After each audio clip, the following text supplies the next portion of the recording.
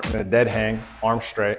And then from there, you're going to attempt to keep your arms as straight as possible. Okay, this is a straight arm pressing movement. You're going to attempt to keep your arms as straight as possible and go from a dead hang to an arched position where you're just going to try and actively like flex and arch everything in your posterior chain.